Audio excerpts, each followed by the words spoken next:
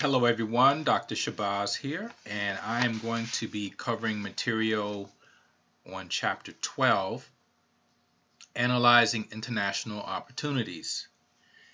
And this is a chapter, usually in this class, that I will go over very quickly because typically in our class we will be kind of in the the final stages of doing this project. And that project was the export marketing plan.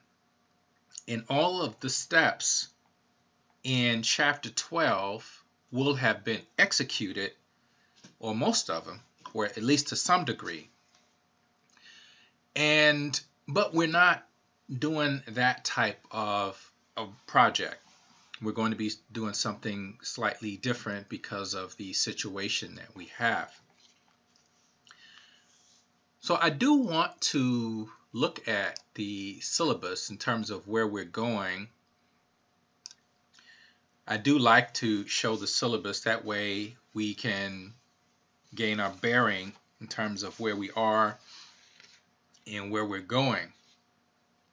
So this is April 2nd, and today we will cover chapter 12 on Tuesday. It will be chapter 13. I'm looking to have a quiz on uh, Tuesday, and it would be on both chapters 12 and 13, a relatively short quiz.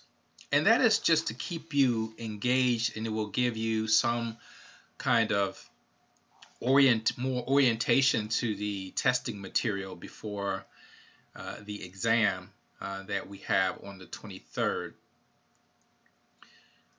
On Tuesday, I will also uh, cover Chapter 13. Chapter 13 deals with market entry strategies. So it is talking about how to get your products from point A to point B.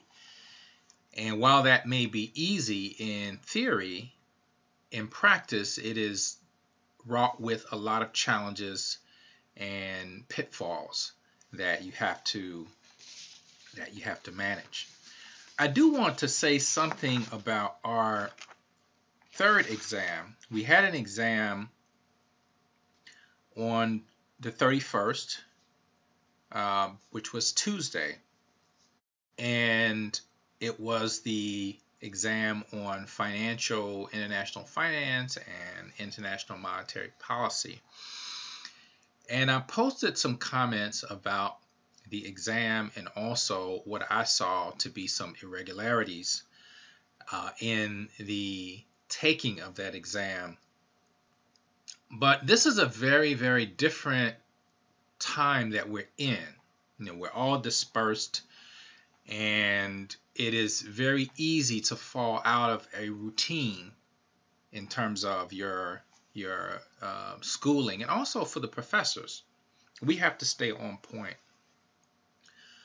But i believe that there were many problems uh, with the exam. And as i stated in my post i take responsibility for having administered the exam and perhaps a flaw or glitch being uh, made in one of the settings. And those things do happen, mistakes do happen. But unfortunately, um, people can sometimes take advantage of mistakes that you make, you know, which is also um, unfortunate, but it does happen. But what you don't want to do when you make a mistake is you want you own up to it, but you don't defend why you're making the mistake. And what is worse than making a mistake is passing that mistake along for others to continue this cycle because it's we we can't afford to uh, continue down that path and mistakes if you make a mistake, it's a good thing, actually. Mistakes, especially if they're small, and if you learn your lessons early on, your mistakes are very small throughout your life. And mistakes are a way of looking at yourself and making some improvements to say, okay, I've made this mistake. I'm going to move on and I'm going to be a better person for it. That being said, with what I found in the third exam, the irregularities that I'm talking about, and they're very, um, I won't say easy, but we have a lot of tools on this end where we can see things, we can see activities. And I also want to say to all of you, and you've been told this before, everything that you do has a footprint. There's a copy of it somewhere. There's a log file where we can see things. And so you want to be cognizant that you're not violating not only ethics, but violating the law. Because these infractions can be very serious and they can send you down that rabbit hole and thinking that, okay, this is the way I get things done. And it is certainly not the way you get things done. So uh, you want to make sure that you always keep your integrity. And I said this before, prior to the, the exam, you always want to make sure that you keep your integrity because that's all you have. Once, once your integrity is gone, then people begin to look at you with less credibility and less respect. And that is just that is just what reality is. And so I just want to re-emphasize that. And I will be making some announcements about what I have found on the third exam. And I will let you know I have been conferring with um, my superiors, including uh, my chair and uh, the dean, uh, which we have to always discuss these issues when they come about and the types of remedies that, and I'm just looking at the uh, message uh, from the dean, and she's giving, you know, the guidelines. Uh, but this is very serious, folks. This is not, uh, we're not playing games, and this is your future. And we're all here be because we want to, we want to help you to succeed. But you have to uh, help us to help you succeed and that's why we're here. So I will be making announcements in terms of how we're going to rectify this because we have to repair the damage. We've got to repair the damage.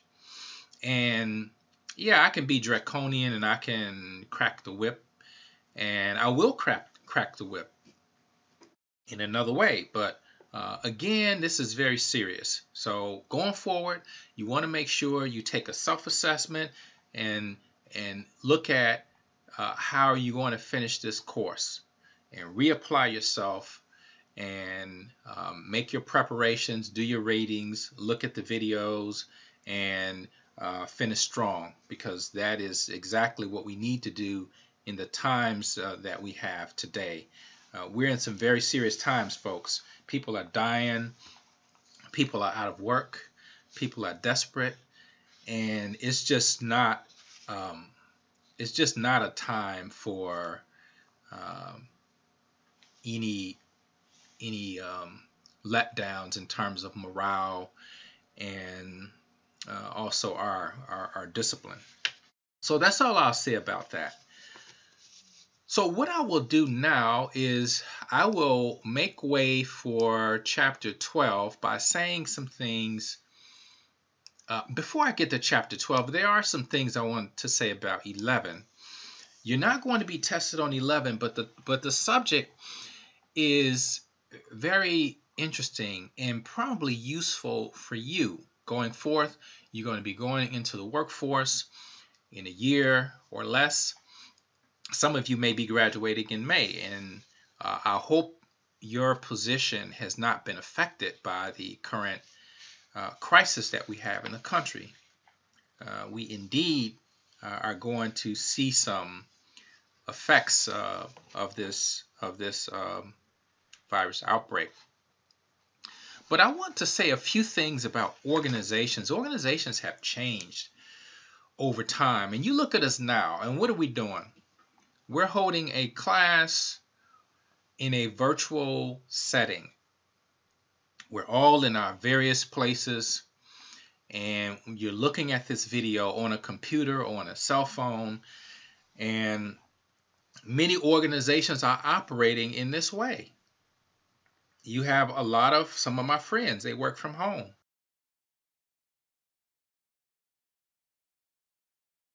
Because uh, one one of the things that is happening is a lot of companies are figuring out that we need to save overhead cost. We need to save money, right? Because of revenue issues and and just um, the cost of business. So a lot of companies are getting rid of their office space and they are building uh, spaces that are more open.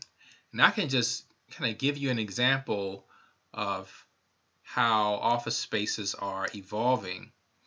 So these are the open office spaces that you have now, which contrast a lot with the cubicles that I experienced years ago when I was in corporate America in Chicago. I worked for a computer company and we had our cubicles.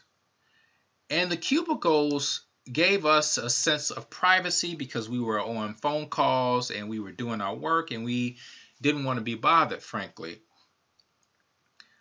But these office spaces are going um, the way of the dinosaur. They're becoming extinct, and you have this more open office space.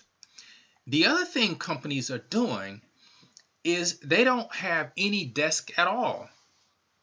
So they have people who are out in the field who are doing different things. And if you need desk space, you either have a standing desk or you can reserve desk space. You can say, okay, I want to reserve this space here in the office. You reserve it, you use it, you're done with it in an hour, and then you go on about your business. And, and so you have these changes in terms of the structure of the workspace and also org behavior in terms of how people are approaching work now. You're working from home and even in addition to that, when, when you go to the office, people are dressing casual. They're bringing their pets to work. You have yoga sessions. You have a masseuse on site. You have um, nap areas. You have all of these things that are changing because what is the trend? To make work more like home. And that way, you'll be happy to come to work, you'll be more productive, and then you'll also work longer hours. The last thing I want to say about this is a lot of you bristle at the fact that you have to wear suits twice a week when you go to uh, the forum series meetings. And you figure it's not something college students normally do. But you have a stage because when you walk across campus, people look at you with admiration because they see that you have a purpose. And it's probably the same when you see the nursing students wearing their their outfits or you see the pharmacy students wearing their coats. There's a, a certain look of professionalism that we're trying to bring to our students. And it is a great platform that we have, and it is something that we, we are known for across campus, if anyone sees you walking across campus, and let's say there's a visitor, and someone asks a student, Who are they? Who are the, these students? They will say, That is SBI. That is the School of Business and Industry, and they're having their weekly forum series. They have CEOs, and now this person who is not even in SBI is marketing your program because of the professional image that you have presented to the to the public. So that's why we take effort and I was hired by Dean Mobley and I was able to see her at work.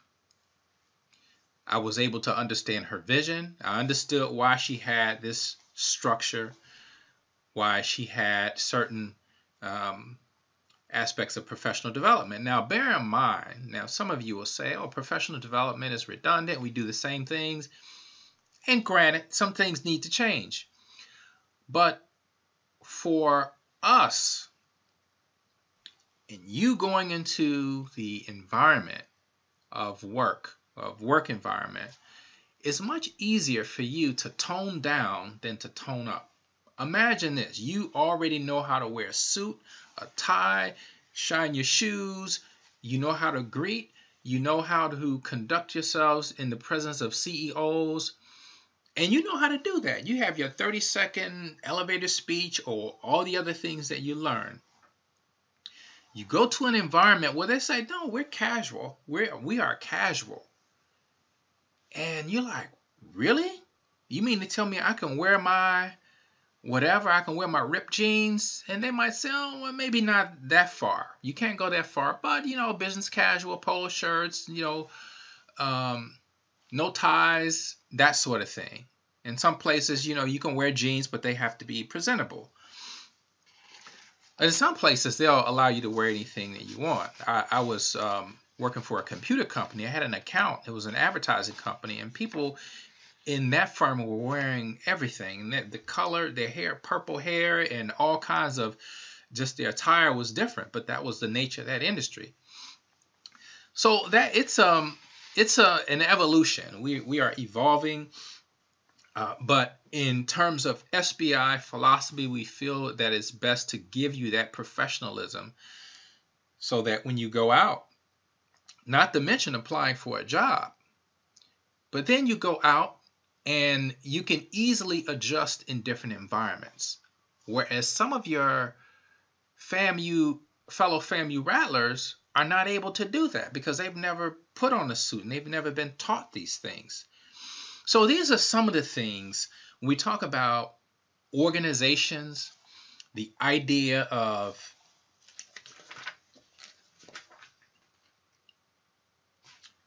when you talk about working in global environments, working in teams, they have also in this chapter, they talk about work teams.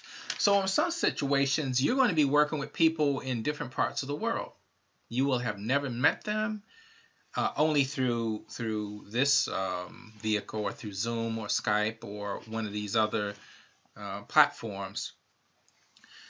Uh, and this is essentially the wave of uh, of the future, or the future is now. So yeah, that's um, what I wanted to give you on that in terms of this international strategy and organization. And you'll probably take more of that when you take your management classes and org behavior and all of those um, classes that you're required to take.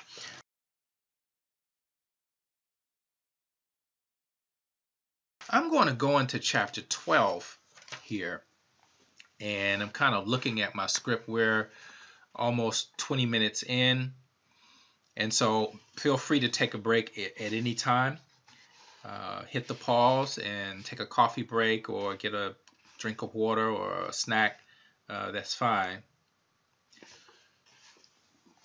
So, analyzing international opportunities. And what does that mean? It suggests that we are obviously looking to go overseas. In the early part of the class, we actually reviewed a case that was about cheeseless Cheetos in China right? We all remember that case. And we re- remember what PepsiCo did when they came in and they had to do obviously some research. They established a joint venture. They found out the highest per capita income. They, they, they found the region with the highest per capita income, which means that there's probably more disposable income. They looked at the local culture, they found out that dairy products were not the mainstay of the diet. They tested some flavors. They came up with two flavors. They ended up making product adaptations, not only through the ingredients, but also through the packaging. And so this was kind of a textbook case of, of analyzing international opportunities and then market entry strategy which is actually the next chapter. But in that short article, you had all of these lessons that were being uh, that were being uh, executed right before your eyes. There was also a video on McDonald's in India. It was in one of the review videos where you had to watch this uh, multinational corporation that we all know go into India. And what's so strange about that? Well, India is a country that is predominantly Hindu and they don't consume beef. They don't consume animal um, products from the cow or residuals. Now, they do drink milk, but in terms of using parts of the cow, the hide of the cow, the meat of the cow, that is prohibited, and you can be arrested for slaughtering a cow in India. But McDonald's said, oh, we will not be deterred. We are going into India and we're going to see what types of opportunities we have. Now, they already knew that there is over a billion people, so that's a lot of revenue that we can potentially make. If you get even a small percentage of that market, you're going to certainly uh, be doing very well. And McDonald's is in uh, about 150 countries. I believe there are 150 countries now. Maybe not, maybe not quite 150, but they're they're they're close to that. And so they've been able to do the analysis, look at all of these different variables, and then make their uh, make their mark. We've also seen trends happen in the opposite direction. Uh, we have seen trends, for example, this hookah craze. People go to hookah bars and they smoke on these pipes. And they may not have known where that came from, but it's kind of a Middle Eastern tradition where you have people. When I was in Egypt and I saw people sucking on these water pipes, what they call them uh, water pipes there. And it's have a, a mixture of water and um, there's steam that comes out and it's flavored. And it, I guess, is a very uh, pleasant uh, experience. But I will say, I went to a, a, shop once, and I have a picture that I'm showing here. We were in a, a shop, and a souvenir shop in Cairo, Egypt. And my room, roommate had, uh, I had two, I had two roommates. So one roommate came to both myself, and Jean, the person that wrote the article that we reviewed, and said, "Hey, there's a shop a souvenir shop. They have some nice souvenirs, and so he takes us over there, and we're looking around, and I'm looking for things for my family. In the meantime, it's uh, around lunch. Uh, it's the lunch hour, and so the the uh, shopkeeper, the owner of the shop, had some food, and he offered us lunch, and you know we sat down, and he had uh, drinks for us. But then he had this uh, hookah pipe or water pipe. And he was uh he lit it up but then he was putting something else in there. And it was basically hashish.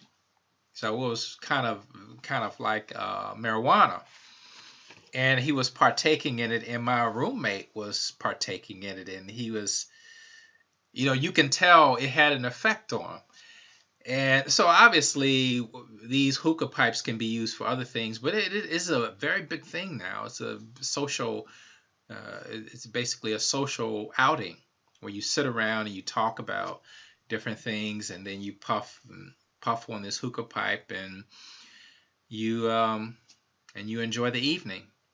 And it it's um, apparently very had been very popular here.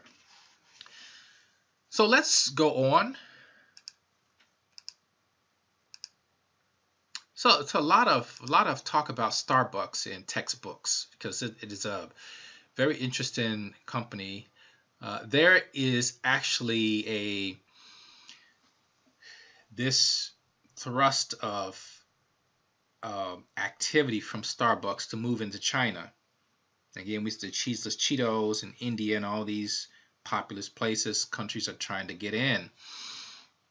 So you have this idea of China going into of Starbucks going into China, and they have opened up a Starbucks that is, I believe, one of the largest, if not the largest in the world, and it has a bar area, a coffee bar area that is 88 feet in length. I think it's 88, 86, 88 feet in length. It is a huge place, and it is uh, it is very attractive.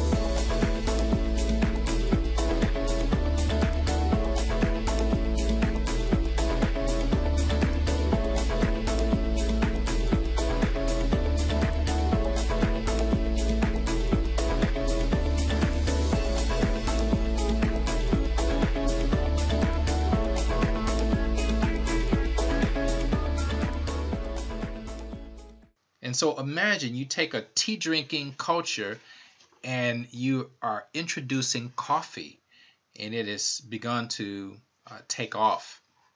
And how do you enter a tea drinking country if you're a, a, coffee company? You know that is that is a very interesting problem. Now I must say, uh, Starbucks has begun to pull back in terms of their stores, and even in the U.S. they have they have actually uh, closed stores, uh, over 100 stores. But Starbucks is is one of those places that if you see a Starbucks open up a shop, a coffee shop, then you probably want to open up a shop nearby because Starbucks has done the research. They have analyzed the opportunities, and now it's time for you to capitalize off of that. So here's the screening process. You're looking for markets, and in our class we had uh, a number of countries, and you were to do this screening, and you were to choose a product, and that product was going to be adapted to suit that market. Okay, we had to scrap that because of what has happened. But these are the steps that you would execute. And it may be similar to the steps that China, that uh, what happened in cheeseless Cheetos in China. These may be similar to the steps that PepsiCo took when they went into China with cheeseless Cheetos. So first, you identify the basic appeal. And what does it mean when you identify basic appeal?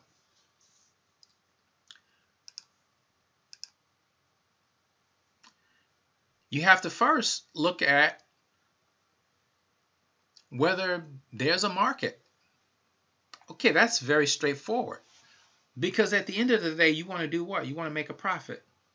Let's be real. You're not doing this for your health. You want to make a profit. So you look at demand, you look at the population, that is one variable, which is why there's so much activity in China and India. But just because you have a large population does not speak to demand because you have to look at demographics. You have to look at age, gender, ethnicity, income class, education, all of these things to determine if you have a demographic that will have uh, a particular demand for your product. And of course, if you're going into that country, you have to determine what resources are available to help that product get to that particular segment. So, do they have a functional distribution channel in place? Do they have a protected or do they have uh, censored media? Does my ad copy have to go through the government before it's approved? How free is the press? Uh, you look at all of these things, and certainly there are very uh, comprehensive studies that have been done. And I'll just show you this real quick. Uh, I wanted to show you this later, but I'll show it to you now. So this is the done by The Economist, which is a British business magazine, and they have these studies uh, that are done. And so this is what which country is best to do business in. So it gives you all of this data about countries and ease of doing business and rankings and so you look at this and th- this may be a ground for you trying to determine whether a country is suitable or not so they have these uh, rankings, and there are a lot of a lot of documents, such as if you go to the institutional investor, if you go to the um, Standard and Poor's, I believe. Um, what is what is the other um, magazine? Uh, World Trade had a country analysis every year. And so they give the ranking country rankings in terms of the ease of doing business. But you want to determine if there are enough resources available for you to be successful, because otherwise it's just really uh, a waste of time. Then you go into assessing the national business environment. So in the beginning, of the or in the midway of the course, we started doing the the export marketing plan, and I had had a plan for you to assess the national business environment through looking at what I call preliminary analysis, looking at uncontrollables, which what I call uncontrollables and what some textbooks will call uncontrollables. So that is the political, legal environment, the economic, financial, the social, cultural, the technological, the human resource environment, competitive environment, geographic environment. All of these different environments will make a difference in how your product can be accepted or whether there are barriers that you have to face. Maybe there are cultural barriers like we saw in China Maybe there are legal barriers that do not allow you to use certain ingredients in your products. Maybe there are political uh, barriers, such as having to go through the bureaucracy, and maybe the turnaround time for you to get things done is just elongated, and, and, and so it's just difficult. Or there may be economic and financial forces that you have to deal with in terms of economic trends, whether it be positive growth or whether it be fluctuation. And then you look at the whole idea of currencies, and we just spent a lot of time on that. You look at uh, the country's credit history. Countries have a credit history. So you look at all of these different factors, and including some of the the uh, analysis that I just showed you of country, country analysis. You can you can actually buy these reports and, and they're very expensive. But the project that you were doing originally would have resulted in a plan that companies will pay for. They will pay for that. And they will pay five figures easily for that type of research uh, for you to identify what markets are suitable uh, in that country. So these are, are some of the uh, variables that you have to that you have to analyze prior to going over. If you don't do this, you run a great risk of wasting money and time. Believe it or not, a lot of companies have done that. They said, "Oh, we're going to cut corners. We don't have time." And you know, R&D is expensive. You look at PepsiCo, they tested 800 flavors. That was very expensive, took a lot of time. Some some companies either don't have the time or the money. And so or the will to do it. And so they say, oh, we're just going to go over and present this product. It works here, it's popular here, so it should be popular in country X. And that is uh, very naive to say the least. Looking at some of the other measurements, and we talk about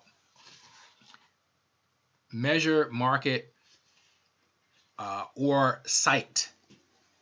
So market, you're talking about what you have defined, whether it's demographics, psychographics, behavioral segmentation, or whatever you have decided. Looking at that. And then where do you get your data to determine that market? Well, you do what they did in Cheeses Cheetos. They did focus groups. You can do surveys. You can do other types of analysis, consumer panels, interviews, but that data has to be readily available. Otherwise, it's hard for you to make a conclusion. Then you look at, as I said before, you look at economic trends. You look at um, growth. You look at market demand. You look at um, disposable income. You look at consumer habits. You look at income elasticity. You look at the classes of what people buy, whether it's necessities, luxury products, or whether it's the uh, you know the goods that people uh, really don't need but want. So you have a lot of you have a lot of different uh, variations. Then you look at countries that have growth patterns, such as the emerging markets, the BRIC countries Brazil, Russia, India, and China, along with those in Southeast Asia. And quite frankly, many African countries are on a growth pattern. You take a country like Rwanda, you look at Ghana. Uh, in fact, in one of our journal articles, there was a um, there was this assessment on how fast Ghana is growing because of the investment they're receiving from uh, foreign countries, most notably China. And so there's this growth pattern across um, the continent. Many African countries are benefiting. Uh, Botswana is also another one of those countries that is looked upon very highly in terms of their infrastructure. South Africa is the richest, but it's also uh, a little unstable socially and uh, economically. The, the distribution of income is is very uh, disparate. It's it's um, you have uh, inequitable distribution of income, and while the blacks in South Africa now run the government, the economic balance of power is still the same. You know, primarily, you have a maybe a slightly bigger middle class, but in terms of the lower class, you still have the majority uh, will be the the um, the blacks in South Africa.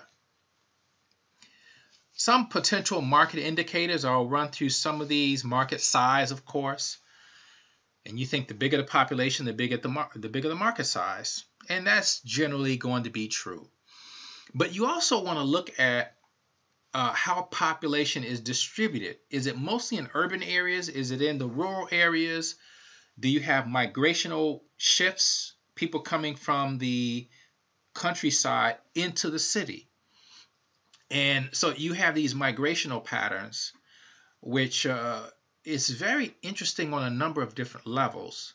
It does create more population, but then with it also comes other social issues that you have to deal with.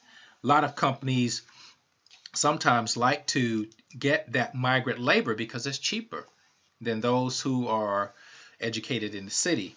But that's a whole different dynamic.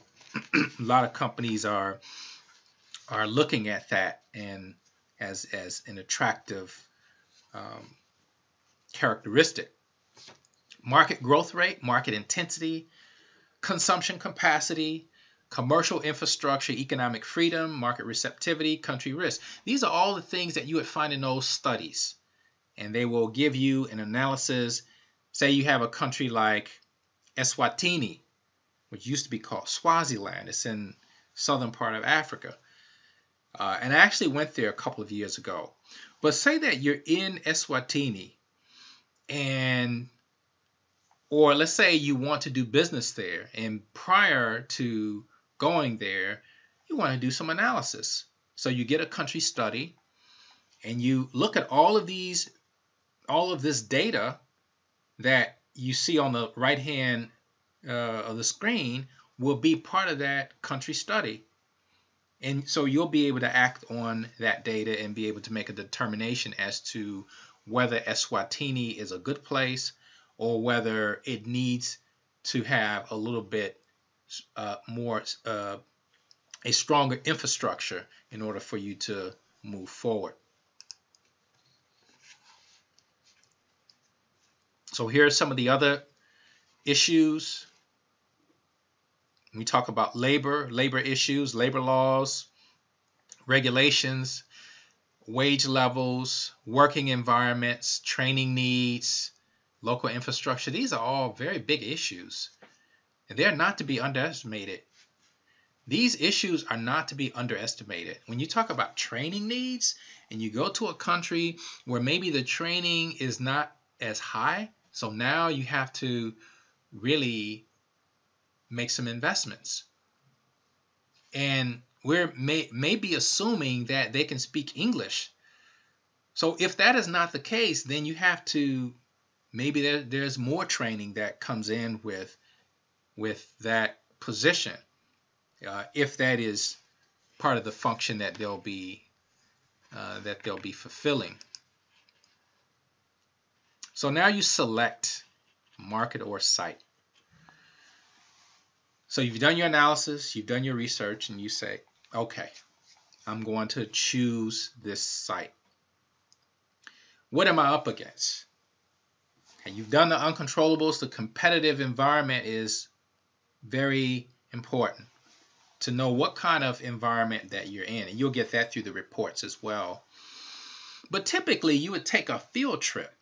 You would go over there and you would get not only a lay of the land and, sit down and speak to business professionals or maybe somebody in the ministry, but you just you want to get a lay of the land in terms of the environment, the feel of people, how they interact, what makes them excited, what they what the trends are, what they aspire to be, how they move throughout the day.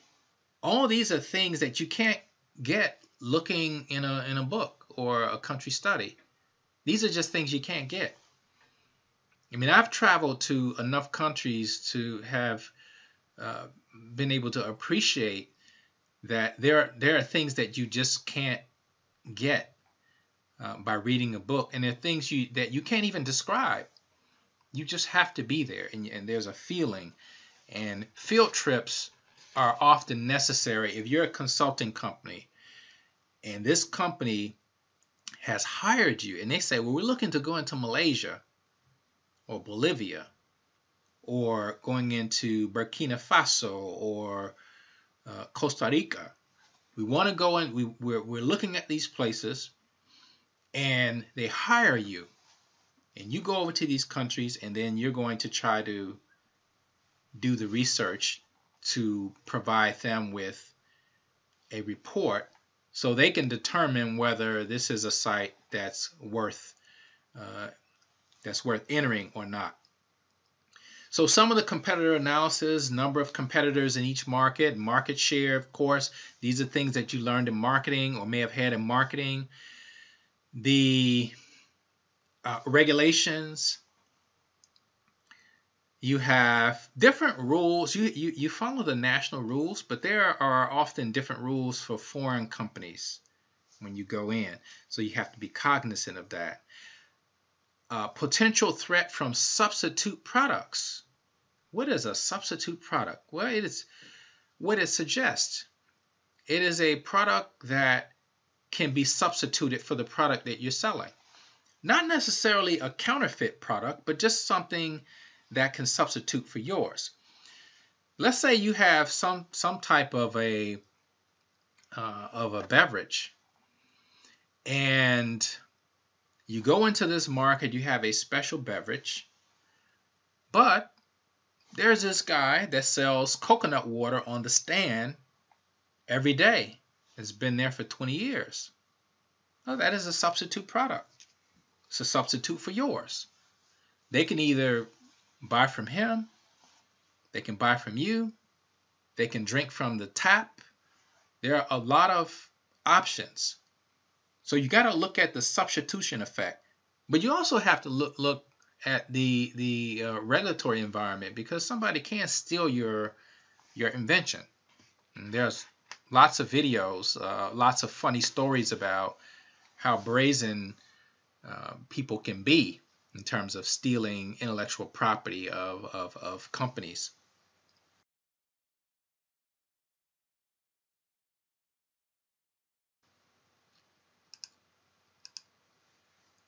So how do you collect this data, this research to make this decision?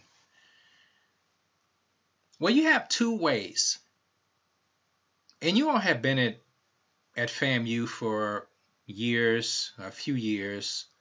Some of you are about to graduate and you've done a lot of projects. And most of the research that you have done, and probably all of it, maybe not all of it, maybe you've done some primary research, but most of the research you've done has been secondary. Process of obtaining information that already exists within the company or can be contained obtained from outside sources. Like many sites online have these materials, books, magazines, or their digital equivalent, country studies, uh, these these uh, guides on um, country risk that you can find. These are all available. Some of them free. Frankly, not all of them are free. Some of them are very pricey. Uh, you have to pay for this this research, and you have companies like Nielsen that conducts market research, and you can have a, a subscription, and that information is updated and so that you can stay current. Um, but for this, when you talk about secondary market research, this is relatively inexpensive because this information that has already been uh, collected. The good thing about it is that, yeah, it's inexpensive, but what is the drawback of using secondary market research? One of the drawbacks is that this research may not completely fit your particular problem that you're trying to address. It's not tailor made because you're getting it from other sources, maybe from other company sources. But if you do primary research, that's suited specifically for you. So what are some main sources? Some of these uh, I have already mentioned, international organizations. We talk about the World Bank, the United Nations, government agencies, the Department of Commerce. You have in industry and trade associations. So depending on your industry, you would have uh, specific materials. I was looking at a site that was basically uh, it's basically about frozen food. And so you had an entire site with all these resources about the frozen food market. And it was very extensive. And I was looking at it because we did a case in my other class about a best frozen foods company where this company was trying to go into Germany with frozen foods and they received a lot of uh, uh there were a lot of barriers that they had to overcome. And so I came across this this uh, uh, industry industry uh, website. You have trade associations, service organizations, and obviously you have the internet. So again, some of the problems, availability of data, uh, specifically in countries that do not have a strong uh, structure in terms of information. I will say this, tell you this story, and I told it to my other class that I was in Ghana conducting research for my dissertation, my doctoral dissertation. And I was there to conduct interviews because I, I, needed some primary research to go along with my questionnaires. My response rates were low, so I needed to bolster this this uh, this research. So I go to the, I was at a conference, a technology conference, and I go to the desk and I ask for the phone book. And that phone book was five years old. And I asked if they had something more current, and they said that is the most current that we have. And this is kind of the when you go to these countries, that's kind of the the trend where you you don't have information as readily available as you find here, which every interval of time you have new information coming out and it's very reliable. But sometimes when you go to these countries, they don't have the same type of uh, research, uh, the uh, research environment. You also have to look at compar uh, comparability of data there are lots of differences in terms of how data uh, may be uh, collected, um, how data are measured. Uh, it's uh, when you start talking about certain methods, uh, survey methods, uh, survey methods vary from country to country. And when you start talking about focus groups, are you going to be in a focus group where people are afraid to, to be critical? Because in a focus group, you want people to be critical. Now, again, that's primary because you're getting it from the source, but the point is data can be measured, perceived differently. Or if somebody um, you know, presents some a report to you, you may read it thinking that it means one thing when it actually means something else. So you always have to look at how uh, information is conveyed. What are some of the other ways of getting data? You have your primary. We already know about interviews. We know about focus groups, consumer panels, and of course, online questionnaires are also in that group. But there are some other ways. There are trade shows. When I worked at the Canadian Consulate during my doctoral uh, studies, I was at the Canadian consulate and I was in the international marketing. What was it? The the um, international marketing of technology group. And so what we did is we would go to trade shows. They used to have one in Atlanta that came to Atlanta called Comdex. And so it was a trade show. You had all these computer vendors, and they were just showing their new products, the latest products, and it was very fascinating. So we would have our booth up. The Canadian consulate was based in Atlanta. And basically, we would have information for companies who are coming by to do business in Canada. And uh, it was very interesting because sometimes when it was slow, I would walk around and I would get to see the new gadgets and see what the um, CEOs of certain companies were were announcing. It was kind of this big show where you have you might have somebody like Bill Gates. Uh, in fact, Bill Gates did come to one of the Comdex meetings because he spoke at the Atlanta University Center in Woodruff Library in a um, in a in a kind of uh, packed house and I was able to ask him a question on the uh, technology development in Africa.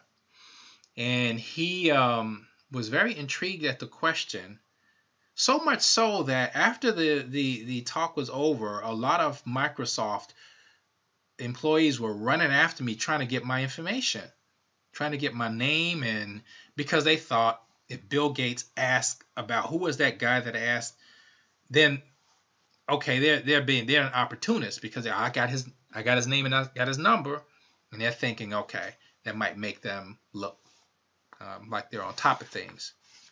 But nothing ever came of that, and I ended up um, continuing on my path to FAMU. Although I thought for a minute that I would be at Microsoft or Silicon Valley, uh, but that didn't happen. Um, also, environmental scanning. As I close, we're almost at an hour. But what is environmental scanning? Pardon me. Well, it is not just I'm going to scan the environment like observation. We know that in, in, research you have the observational method where you go and you do an kind of an observation of the the environment that you're in. Well, this is essentially a, a way to ensure that you have a process of, of ensuring that your information is going to be current. And the way you do that is to build a, a research cycle where real-time data are coming in. And then you're able to adjust and you're able to, to make adaptations you're able to switch. You're able to contract your product line, expand your product line. You're able to do things uh, in a in a time sensitive manner. So it says here, page 310, the environmental scanning process entails obtaining both factual and subjective information on business environments in which a company is operating or considering entering. The continuous monitoring of events in other locations keeps managers aware of business of potential business opportunities and threats. Environmental scanning contributes to making well informed decisions and to the development of effective strategies. It also helps companies develop contingency plans for a particularly volatile environment. And there you have it. You know, it is a very uh, intensive uh, process and when you talk about being on top of things. And one other thing that I will say is when you're looking at other markets, and it is also true in real estate that location is key. Location, location, location. That's what they say when you're you, you're trying to decide where to put a store.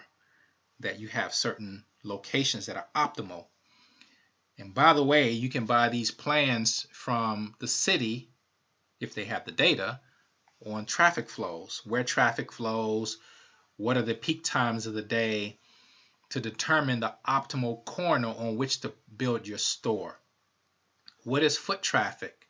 Because in some places where the traffic flows, you don't have pedestrian traffic and the cars can't really get off. And if you have a store in a place where the cars can't turn off, then that's a disaster because you're missing all of that traffic that's passing by. And the other thing, the last thing, is that when you determine the the location, you want to make sure that you're thinking in terms of an anchor market. Anchor. You want to anchor that location and then you want to that location to be the anchor for expansion into other areas. Maybe other areas within that country, maybe other areas within that region where you expand into other countries. And so you have the anchor market and you choose one that's vibrant, you choose one that has resources, and then you go from there. That's why in most places you have companies that go into major urban areas because that's where the resources are and then they're able to set up shop, they're able to test products there, and then they're able to move out from that location. So that will do it for chapter 12. I hope that that was helpful. Uh, we will have a quiz on Tuesday after chapter 13. So it'll be on chapters 12 and 13.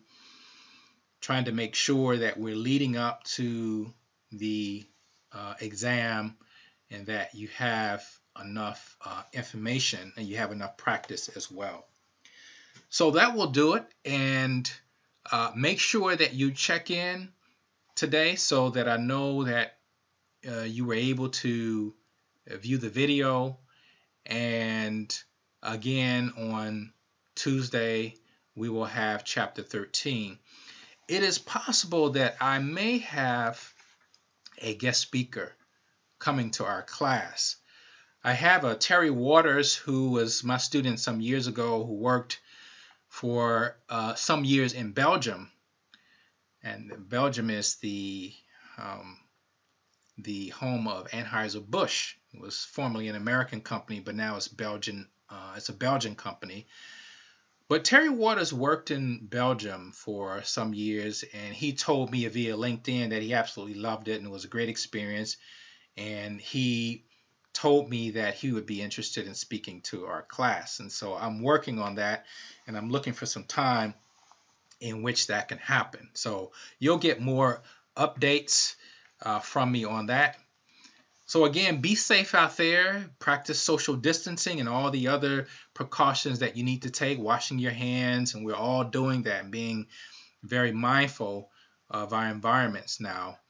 And we're going to get through this semester, and everybody is going to uh, be stronger for it. Okay? Have a good weekend, and I'll be talking to you on Tuesday. Take care.